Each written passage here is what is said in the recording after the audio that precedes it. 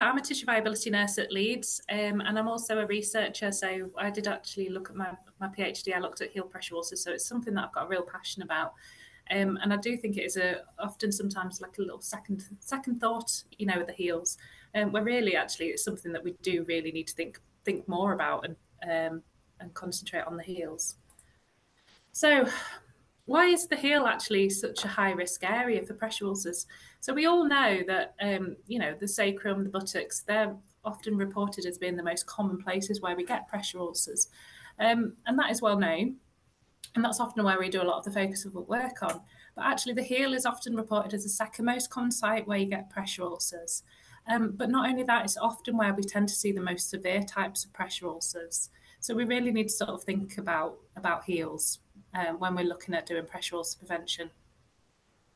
So what is it about the heel that makes it such high risk? So when you look at the foot in general, um, the foot is a really well designed structure.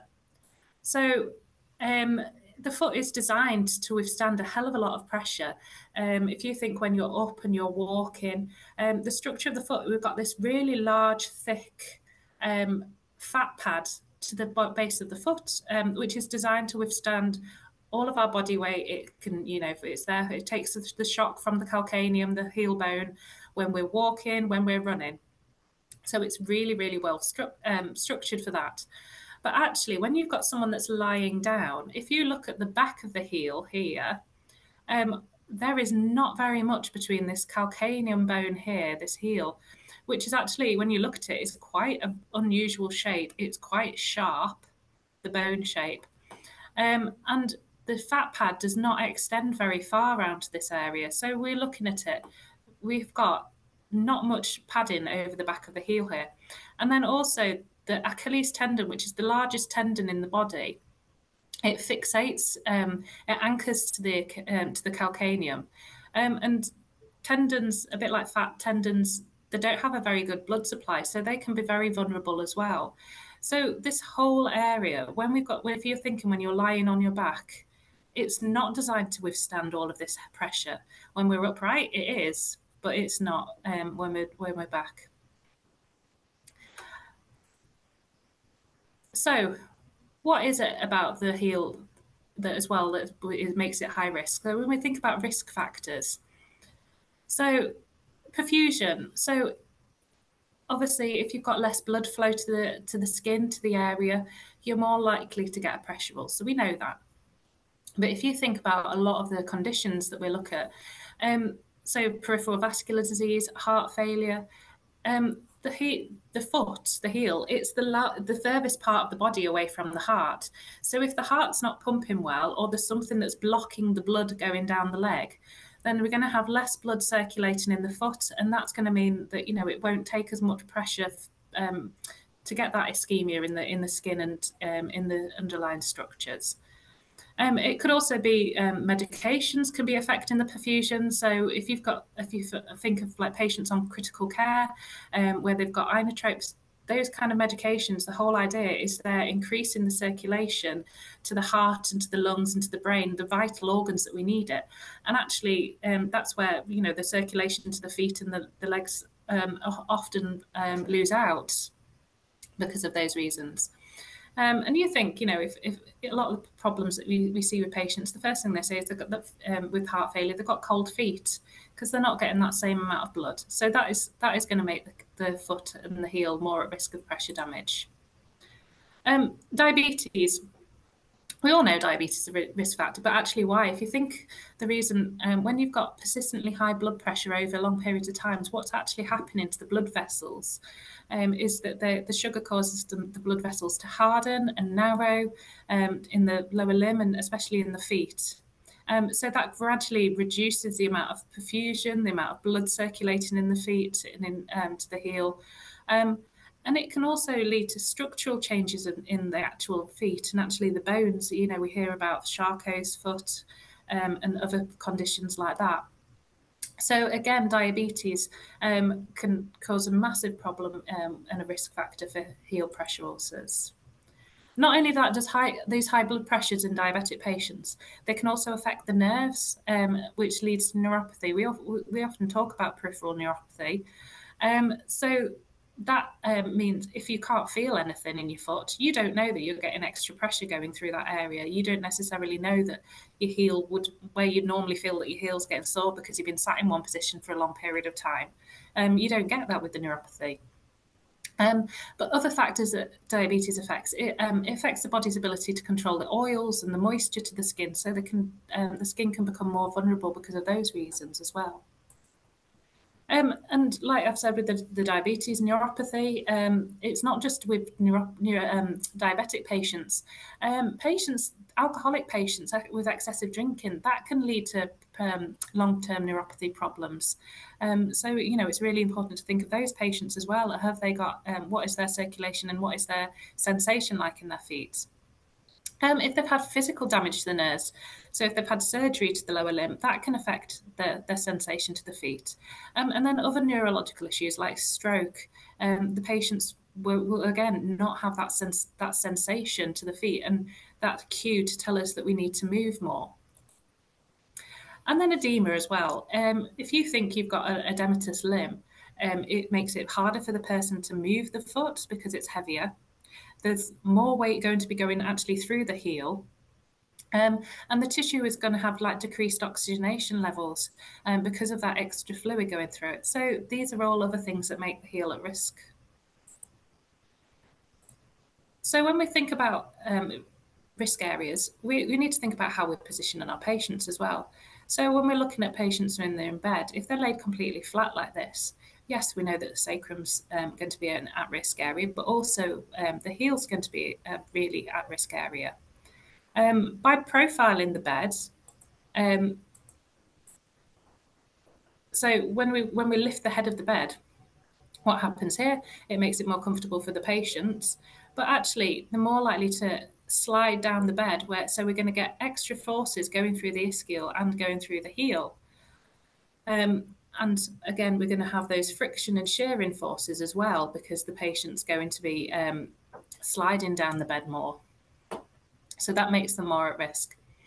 Um, so profiling the bed, that's a simple thing that we can do, which is going to help reduce that risk for the patients. When we're profiling the bed, if you think what we're doing is we're increasing all of the different contact areas for, for where um, the, the body that's in touch with the bed.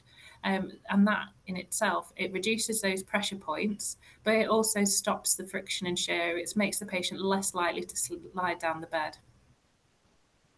And then also, if you think when you see patients and they're lying in bed, it's natural, this bottom picture here is um, the, the natural position when you're laid in bed is to have the heel externally rotated. So again, that's the sharp part of the calcaneum there, um, and it's still not got that same level of um, fat coverage over the foot pad. So um, that sort of sideways foot drop almost, that external rotation, um, it makes them, you, you, know, a lot of the pressure also you see, they might be on the outside of the heel, not just at the back. Um, and then positioning as well, it's not just about when we've got the patient in bed that we make them at risk. We need to think about when the patients are sat out in the chairs as well. Um, if patients haven't got the right size chair, we know that you know the posture is a big thing for sitting out. Um, it makes um, the patients more at risk of getting pressure ulcers through the sacrum and through their ischials. But actually, you know, if patients aren't sat up well, then they're more likely to put get pressure going through their heels as well.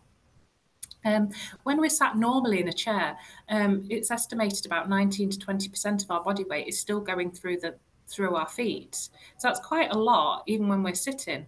So if you've got a patient that's not actually sitting um, properly, you know, with a good posture, with their feet flat on the floor, that 20% body weight, it can increase and then it can go through, um, not necessarily through the bottom of the foot, through the fat pad, it's going through the heel.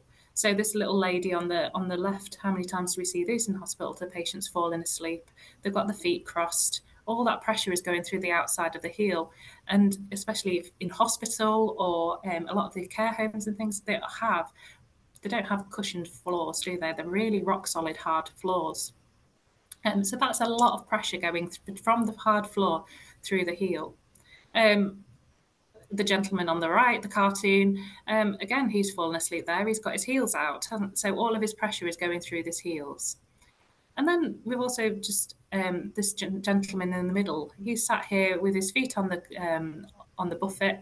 We know that that's not, not a good position to be sat in, but you know, that's often how patients are be, be getting themselves comfortable. Um, but this isn't a great position in either because, you know, again, all that pressure um, when the feet is elevated is going through the heels.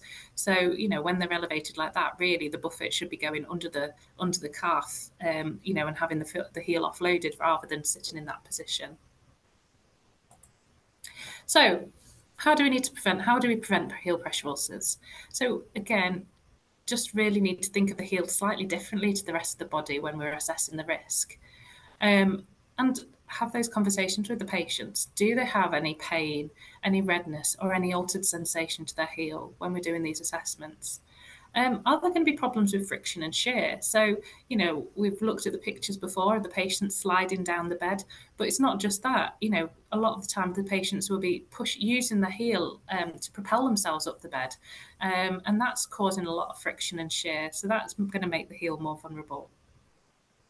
Um, can the patient actually move the limb? So we've talked about, you know, neuropathy, um, we've talked about lack of sensation, but actually have they got a paralysis? Um, have they got nothing, no reason that they can move that? It could be that, you know, if they've got a fracture to that side, they're not going to be moving that limb at all. So obviously, if it's not moving, the more pressure is going to be going over an extended period of time. Um, and like we say, like I've been talking before, really think about those comorbidities that the patients can have. Really need to understand what the risk factors are. So, you know, have they got peripheral arterial disease, diabetes? Have they got the perfusion issues and the sensation issues? Because they're all going to make them at risk. Um, so to prevent them, it's not rocket science, really. You know, we talk about it everywhere. Um, the key to, to preventing pressure ulcers is to either remove or reduce the magnitude of the load. So how, how is the best to do it? So positioning. So when we're with got a patient in bed, we're very good at getting the patients in and doing the 30 degree tilt. But the number of times I go around and see patients and they've been tilted to the side, but the pillow is just under the buttocks, you know, or just under the shoulder. In which case, what's happening is the patient is, you know, we're, we're lifting the sacrum off um, off the bed slightly, but the heels are staying in exactly the same position. So we need to make sure when we are repositioning patients, when we're doing the 30 degree tilt, it's the whole body that is repositioned, not just um, the upper body. Um, obviously, when we're putting pillows underneath heels, one of the big keys is um, don't hyperextend the knee. Um, so the picture before with the man sat with his feet on the, the footrest, that's a big no-no as well because we're hyperextending the knee. And it's theoretically that because when you hyperextend the knee, that um, it it's compressing the popliteal artery, so the big artery that goes around the back of the knee, and that can actually increase the risk of DVT. So it's always good to make sure that you know patients have got a slight bend in the knee. Um, if the patient's got foot drop, that really needs to be addressed because that's going to that changes again the structure, the structure and um, the circulation in the foot, making them more at risk of getting heel pressure ulcers. Um, and if the patient doesn't tolerate or um, able to stay in place. You know, if we're we're offloading with a pillow, if we're, you know, re- trying to reposition, then that's where we need to sort of start thinking about devices and what else we can do. What can we do differently to get um, the patient's heels um, so they're reduced pressure or free from pressure. So, devices. So again, like I was saying before, cornerstone to pressure ulcer prevention is to reduce the duration and or the magnitude of pressure and that's including um, pre- um, normal pressure and pressure with shear. So mattresses and repositioning are key. You know, we we know that it, it's our bread and butter, isn't it? You know, we make sure that the patient's on a pressure relieving mattress. We make sure that we've got that two hourly or whatever you know whatever repositioning that we can manage. Um, but it's always that thought. Then, if if the patient is still getting red heels, they're still getting um, painful heels, or we know that you know they're, they're more going to be more vulnerable. Then this is where we've got that that extra string in our bow, as it was, that we can then use a device to help reduce um, to prevent the um, heel pressure ulcers from happening. So what is the evidence behind these devices? Um, this is this is sort of a big piece a bit of my research and what I'm doing at the moment. And actually, there's not an awful lot of evidence out there. All these market, all these devices come on the market, um, and they come out with a few case studies, and there's not an awful lot of actual research evidence behind it. Oh, sorry, my slides have automatically moved on. Um, but what we need to um, we need to look at is um, you know, we know that they do work. We have that idea that, you know, offloading is key. Um, but, you know, there are other options out there because offloading is not always um, the best for the patients. They don't always like it. So there are different devices out there. So there's ones that we, we call offloaders. So these are the ones where the, the heel is actually elevated, it's floated within the device. Um, there's other de devices that um, reduce the magnitude of the pressure, so the amount of pressure going through the heel, so the cushioning pads, the gel pads, fleecy pads. And then there are also some devices out there um, that work through reduction of friction and shear. So it's really sort of trying to get that, um, decide what's best for your patient group. Um, there's not enough evidence out there to say one's better than the other. Um, but you know, it, it, it's trying to sort of have a real think about why your patients are at risk and what what is best that we can put in place to help reduce that pressure. So going into a bit more detail about the different devices. So there are um, some of the devices out there, they're reusable. Um, so the benefits of that is they're cheap, you can clean them, they can be used between different patients. Um, and they do provide that full offloading, so the heel should, if they're in the right position, should be completely free of pressure. Um, the, the, obviously the cons of them is because they are reusable, they need to be cleanable. So they're often made of plastic um, or some similar substance so that they can be cleaned, which does mean that patients sometimes find them hot and sweaty. Um, and they, there are different versions. There's some that you know you can actually fix them to the limb. There's some that um, that don't, um, but you know they don't always stay in place as well. But you know this is a really good, cheap um, option for being able to offload patients' heels. Um, and then we've got single patient use ones. Um, so there's lots of different brands out there. I'm not promoting one brand over another. You know, it's um, it's just a device that is going to be fixed to the heel that that again it offloads the heel, it elevates. Um, now the, these devices are really good because they often they're, they're well fixed in place. Um, then they're very cushioned and padded, um, and so they protect not just the heel but the, the ankle bones and the rest of the foot. Um, but obviously, um, there's always a pro and a con for each of these devices. So the cons being that um, they are single patient use only, they can't really be washed and reused. Um, so if they do get soiled for whatever reason, then they'd need replacing, um, and we can't share them between between patients. Um, some patients don't always like them as well. Sometimes patients find them hot and sweaty because they are really bulky and they find that they can actually restrict their movement in bed. So it restricts that independent movement. Um, and also, we, we, they're only really designed to be used in bed. Um, if a patient's sat out um, or more likely to climb out of bed, then that they could become a falls risk um, because they're not designed for being walked in. So, you know, this is again where I'm sort of saying I'm not advocating one device over another because they all have their place, um, but you really need to think specifically for your patient groups. And then we've got gel pads. So um, we see these a lot. Theatres often use these kind of things. Um, and again, they don't offload the heel, but they cushion it. They reduce the pressure to the heels.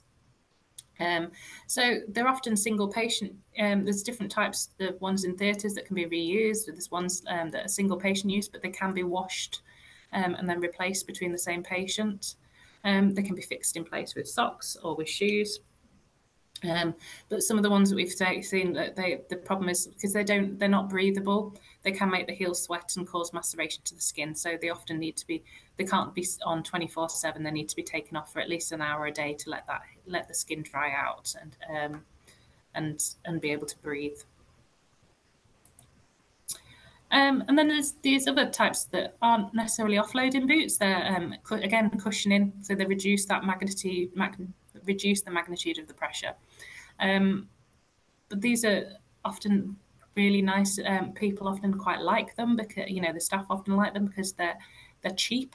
Yes, they're disposable again, um, but you know when when they're only you know I think some of them are about five pound a pair, you know compared to you know eighty pound for some of the other offloading boots. You know they are a cheap option. So if the patient doesn't like them, you know you don't feel like you've wasted a lot of money. Um, so again, they're not fully offloading; they're just reducing the reducing the pressure. They can be tight.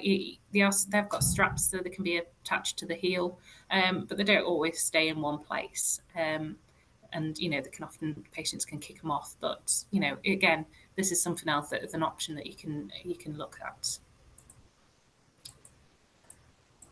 So other devices. So if if the issue with the patient is that actually it's friction and shear is the issue rather than actually pressure, um, then this is where some of these other devices might be um, might be a, um, an option. So, you know, if you've got a patient that for, has got a tremor, for example, or they're just very agitated and they're moving their legs a lot, um, then, you know, what we want is then to be reducing that friction shear. They don't necessarily need to be offloaded.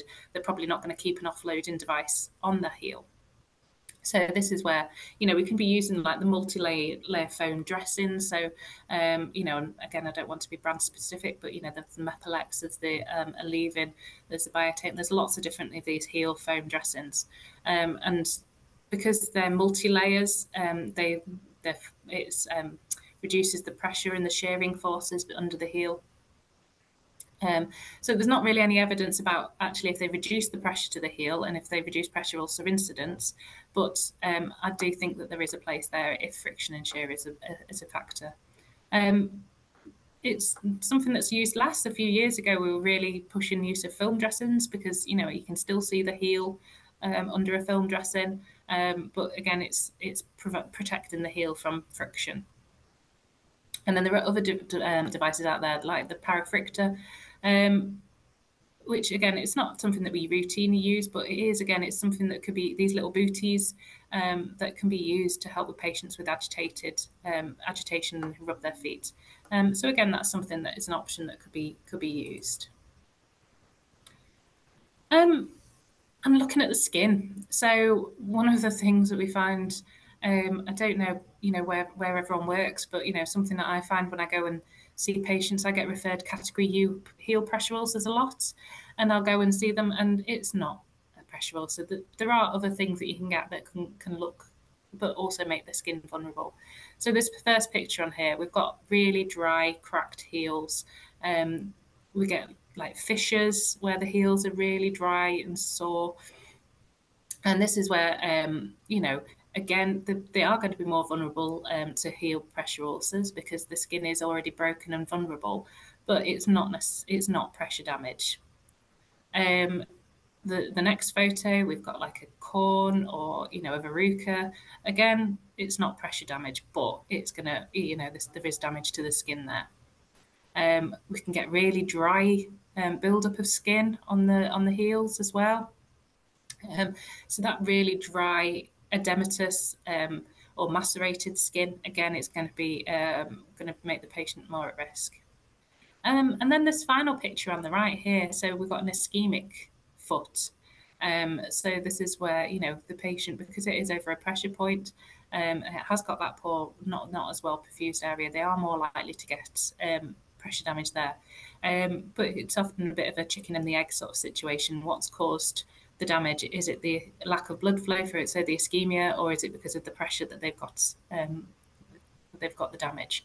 Um, it's you know, so it, it's not always easy to tell whether it's a pressure ulcer, whether it's an ischemic ulcer, whether it's a diabetic foot ulcer. But you know, they they can all cause these serious wounds to the heel.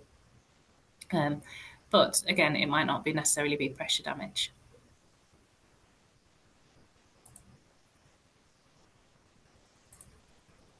So in summary, um, best practice is if the heel, if there's no pressure going through the heel, they're less likely to get pressure ulcer to the heel. So if at all possible and it's safe for the patient, you know, we should try to offload. It doesn't necessarily need to be with a device. It could be with a pillow if we can manage it effectively or a wedge. There's so many different devices out there. Um, we don't necessarily know if one's better than the other. Um, as with everything, education, collaborative care, it's always going to be um, the best best way to get a patient to to um, to work with us. um, and to make sure that they're aware of what we're doing, why we're giving them these boots or whatever um, product we're using. Maintaining posture, so that's not just in the bed when we're sat out in the chair. Um, good skincare, so again, clean, dry, good moisturizers always help. Um, and act on pain, altered sensation. Uh, you know, I'm sure we've been having the talks about um, darker skin tones. They don't get that same um, redness to the um, to the heels or to anywhere on the skin. So really act on pain and um, and that change in sensation. And if you know feel if the heels feel different, they feel a bit boggy. That's all signs that there could be something going on there. And and just a little tip there, like use of mirrors. Mirrors are brilliant. They've been a game changer, I think, in the last few, few years that everyone's using them. Best way to look at heels because rather than having to get down on your hands and knees and look under people's heels when you're on the um, when they're sat in their chair. Um, but just something to get and really helps you look at the heels more. So that's everything from me. So thank you very much. Thanks, Clare. That was great. Um, if you wouldn't mind just uh, stop sharing, that would be great. Yeah. Fabulous. Um, yeah, I, th I think, like you said right at the outset, I think the heels sometimes are not or there might be an afterthought or not maybe considered in a in a way that they should be. Um, what's your thoughts on what I've what I've found in the past is people might have been on a pressure relieving mattress of some sort in the bed and people people feel then they don't need to use additional offloading devices for heels. That's quite important to consider that, isn't it? Yeah, and I think um, one of the things I was finding when I was doing a lot of the um, talking to nurses and everything, it's almost like you know those extra devices are almost the third third string on our bow. So you know repositioning is always the first thing we do. Then we're looking at the mattress, so having the air mattress, and then like you know if we're then still seeing pressure damage or early signs, or we're thinking the patient's at risk, then that's where we then need to get onto using these other devices. Um, the mattresses are great. There's a lot of the air mattresses that will have like you know the extra pressure relief at the foot of the bed, designed to protect the heels. But at the end of the day, we still see patients getting pressure ulcers even when they're on these mattresses. So you know that extra um, care to the heels is needed on top of that. I think that all goes down to your risk assessment, doesn't it? And looking at the, the risks of getting heel damage, whether it be peripheral arterial disease or restless legs or the, you know, totally immobile in bed and, and, and the heels are down. Um, yeah. The, you're, you're, you work in an acute setting. I, I'm very much, I worked in the community. And the problem that we had was when you felt you needed to offload heels rather than maybe using, uh, you know, something to reduce shearing or, or friction. Um, they were often devices that would, I felt, increase risk in terms of patient safety. So people who are living on their own, they needed to get out of bed in the night to go to the loo, and you've put them into some offloading boots, or you know their their mobility is restricted because you've put these boots on. I mean, what what's out there that that can help with that? And what's the role in your your experience of maybe getting podiatry on board to help with that sort of thing? Yeah, I mean, I, I've less experience in the community, but definitely we've we've sort of seen um, issues with um, these devices. You know, especially if they're fixed to the heel, they are going to become a falls risk. You know, if the patients are starting to mobilise. Um, so, you know, I've seen it in the hospitals where you know if you've got a confused patient that's trying to climb out of the bed and they've got these devices on, um, then that can just cause them to slip and to fall. Um, which is why you know we, we sort of very much um, when we're saying about using these devices, it's just purely for when the patients are in bed.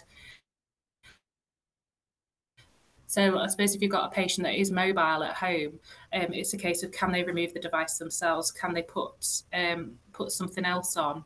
Um, you know, and, and if they can be offloaded with pillows, you know, then that can work. But again, they can then just get kicked out of bed. And um, I've, I've heard people say before, you know, they've, they've had patients where they've tried to offload their, their heels with a pillow um, at home um, and the patients knock them out of bed while they've been trying to get out of bed and then they've fallen over the pillow. So um, there's not much I know out there at the moment that's really good for patients mobilising in. And I think that is something I've spoken to some companies and they are looking at, you know, devices that where patients can actually mobilise in them.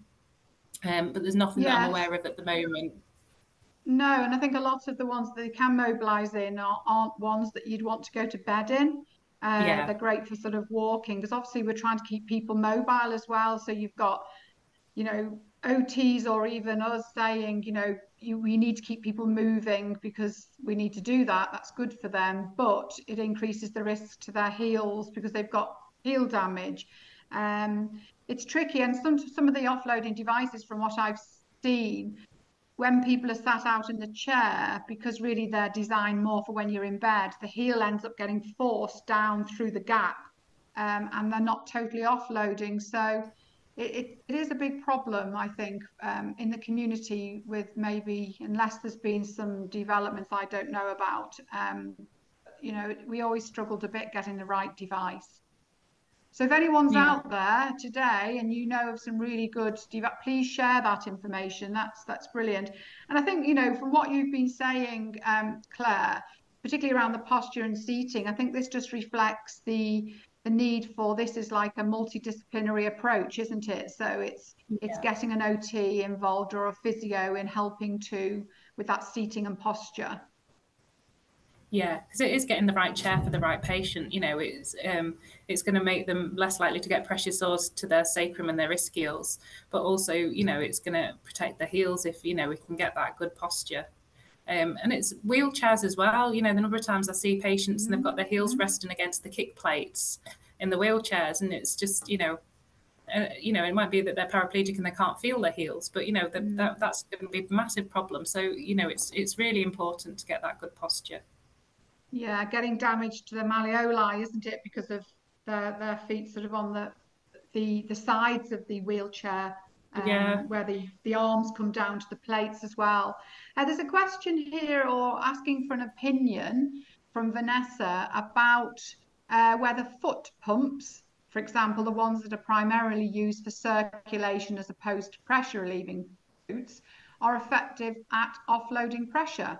I've been told they are because there is a small layer of foam between the foot and the bed, but but not sure this is being contradicted by a, a TVN. I'm not quite sure um, whether you're what you're talking about here. I mean, I'm thinking of things like the um, Flowtron boots that help squeeze calf pump. I'm not sure if you're you're referring to that specifically. If you wanted to take yourself off mute, Vanessa, and uh, clarify, are you there to do that?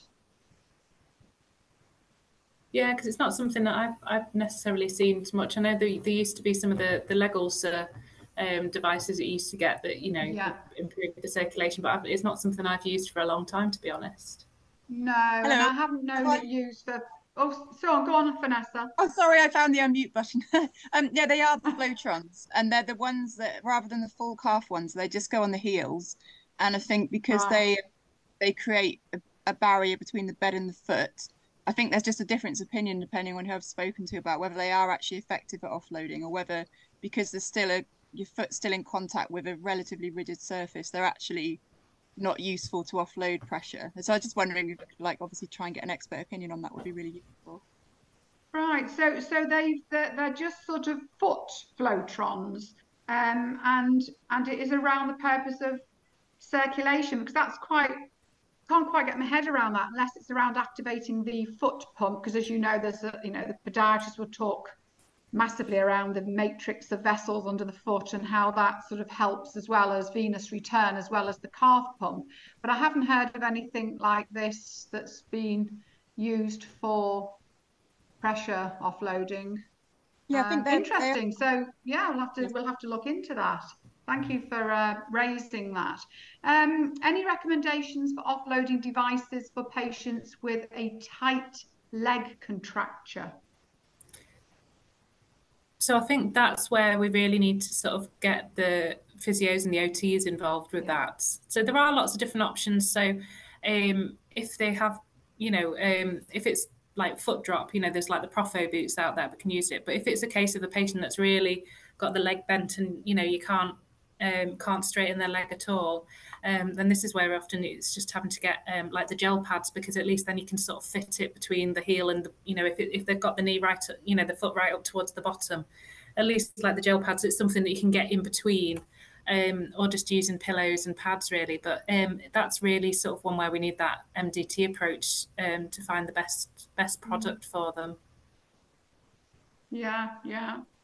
Um, if patients are mobile or they're or if, if patients are mobile or sitting for long periods, unless you mean immobile, maybe, um, Catherine, do they need an assessment by podiatry for offloading um, and or footwear? I would have thought it'd be based pretty much on risk, would you, and their sort of medical history, do you think, Clare?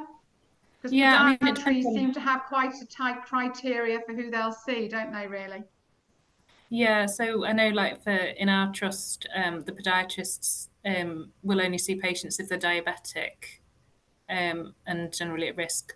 Um, so I think that's something where we would sort of be expecting, you know, the nurses on the ward to just be able to assess that level of risk and to implement the devices themselves.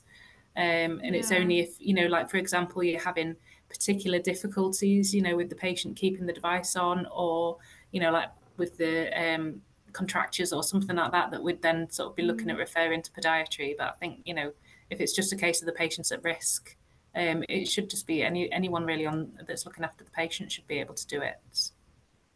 Yeah, so I think there's reference here to the total casting, you know, that, that podiatry do. But I think it's worth, you know, having that conversation if there is that risk there, because I don't think all, oh, the podiatrist, oh, you are a podiatrist. Fantastic. Um, I am podiatrist and advising that they should get an assessment by podiatry as early as possible if they are mobile or they can get out of bed. I assume as if you if you've identified, Catherine, that they are at risk uh, or they have pressure damage. I assume.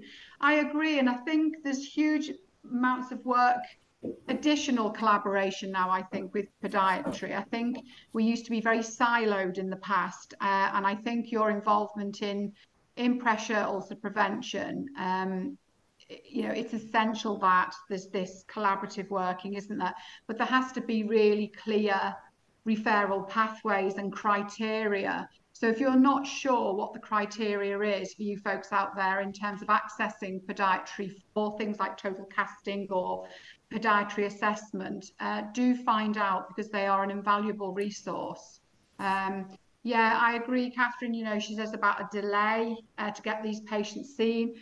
There, there are delays. There's delays all the time in the NHS, but I think it's about that early assessment and getting getting them into the system as soon as possible, isn't it? Really. And I think that's um, where you know some of, some of these like cheaper devices, you know, that I was going through some of the different options. They're something that you know anyone could get what get hold of them. You know, the community nurses, the nurses in the hospital um, and get something in place while waiting for um, that referral to podiatry to happen.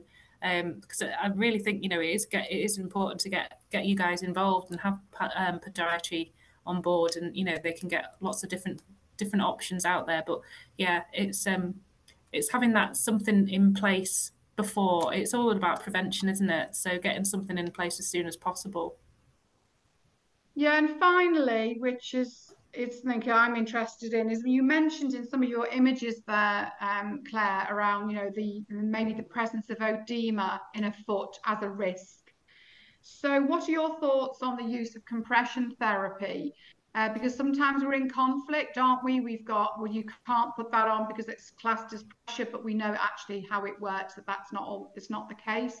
So, what what's your experience or thoughts on the use of compression therapy when people are at risk of pressure ulcers or maybe maybe needing an offloading device of some sort? Um, I think you know compression's really important, and I think we should have patients being compressed where possible. We do. I think some of the problems we have, especially when patients are in hospital, they come in and they've got compression bandaging on, and then no one's actually looking at the heel because no one wants to take the bandages off. So that's where you know some of the problems I you know I see um, come down to that. Um, but as far as you know from a pressure point of view i think it's like anywhere that you know as long as you pad pad the heel you know um, you put in padding you know we know that the shin bone um, that pretibial area is often vulnerable but we just make sure it's padded. It's the same you know with the heel and um, you know it, compression works because it's improving our circulation. So you know compression is is needed um, but it's just having that again having that plan in, in place and knowing when we're going to be changing the bandage and making sure that people actually look at the heels when they are redressing um, the, the legs. Yeah, good advice. Thank you so much. That's the end of that presentation, but that's really, really useful information. So thanks again, Clare.